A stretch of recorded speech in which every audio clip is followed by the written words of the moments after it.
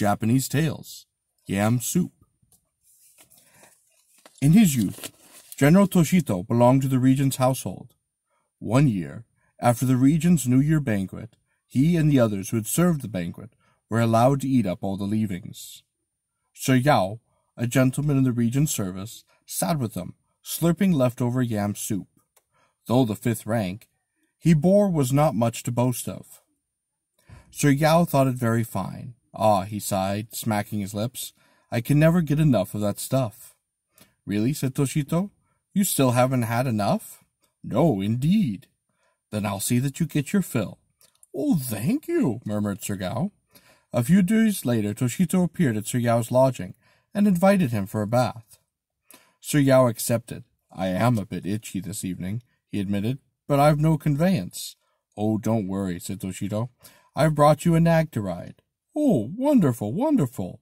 Sir Yao rose to go. He had on a tattered light blue outfit, with rents and gaps here and there, and not even a proper underwear under his trousers.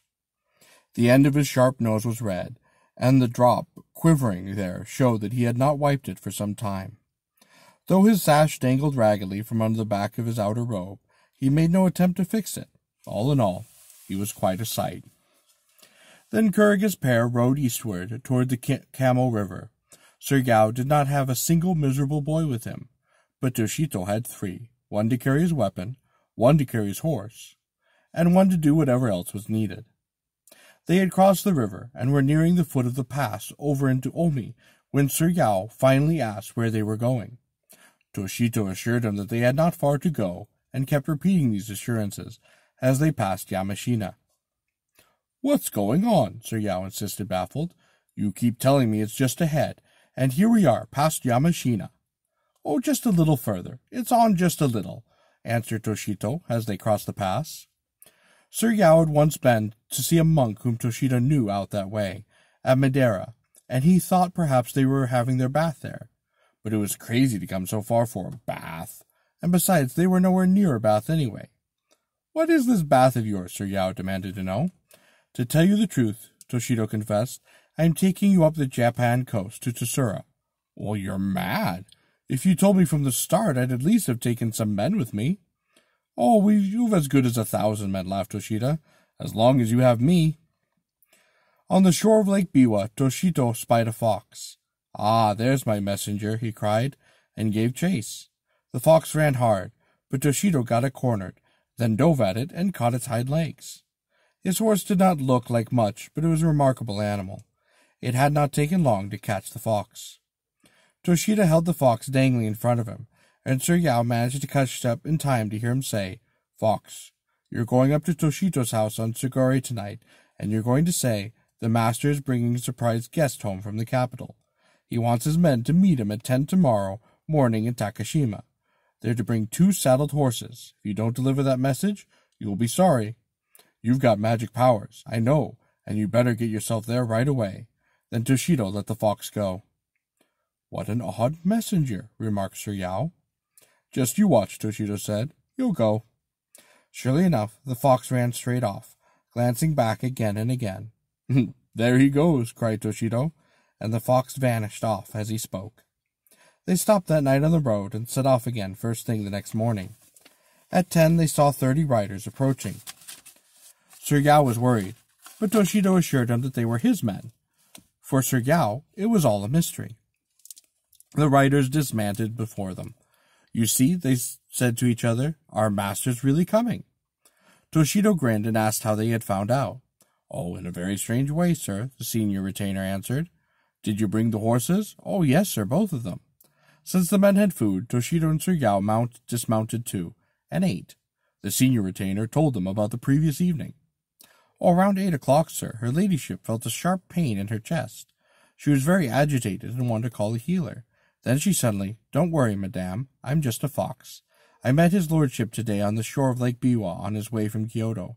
I tried to run away, but he caught me and said to tell you he'll be here tomorrow with a guest. He wants his men to meet him with two saddle horses at ten tomorrow morning at Takashima. He threatened me if I didn't get here before the day was over.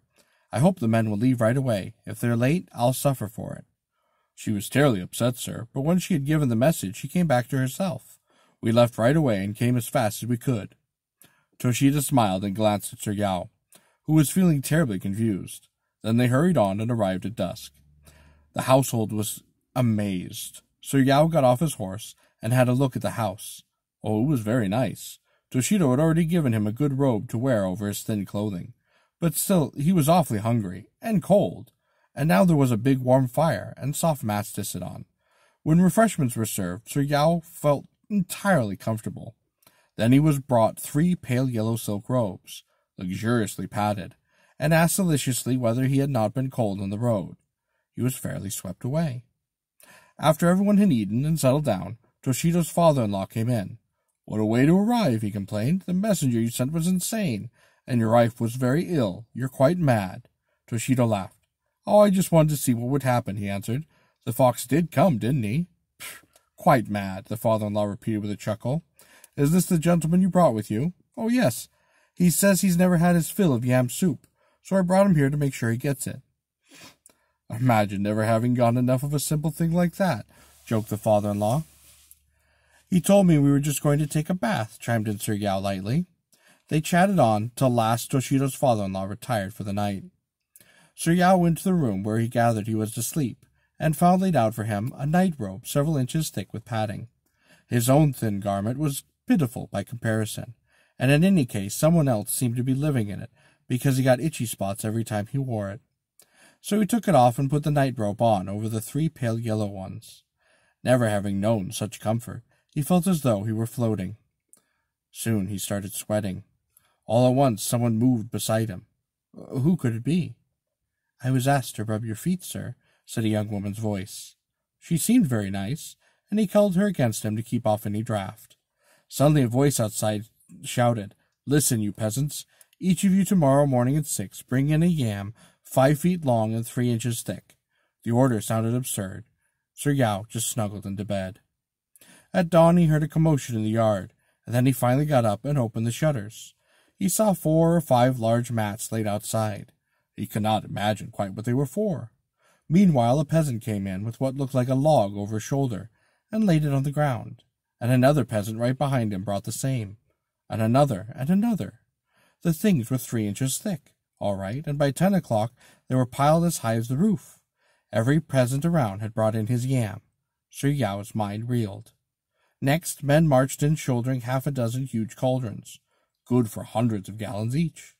They drove stakes in the ground and set the cauldrons up in a row. Once more Sir Yao's mind was boggled. Then came a crowd of pretty girls, all in white silk, and carrying some freshly made wooden buckets. They emptied their buckets in the cauldron. Were they going to heat bath water? No, Sir Yao noticed that the buckets held not water, but sweet vine syrup. A dozen young men picked up long knives and set to work peeling and slicing the yams, and Sir Yao grasped that they were going to make yam soup. But he did not want any. In fact, he didn't like, like the thought of the yam soup at all. The yam soup was boiling merrily away, and the cooks reported it was ready. Serve it up then, cried Toshito. With a monstrous metal ladle, they sloshed a gallon or two into a huge bowl, and with a pleasure shirt offered it to Sir Go.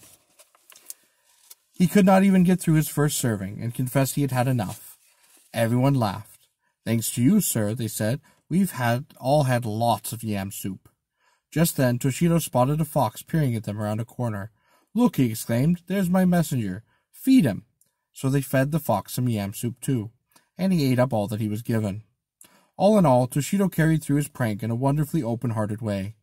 A month or so later, Sir Yao left again for the capital, burdened this time with robes for both daily and formal wear, with leather chests full of bolts of cotton and silk, and needless to say, with the beautiful bedclothes he had slept in the first night. All this was already loaded onto his saddle horse when Toshito saw him off. Toshito did not have much rank, but it just shows how well a man can do anyway when he is well established, and he liked, and he is liked in his own locality.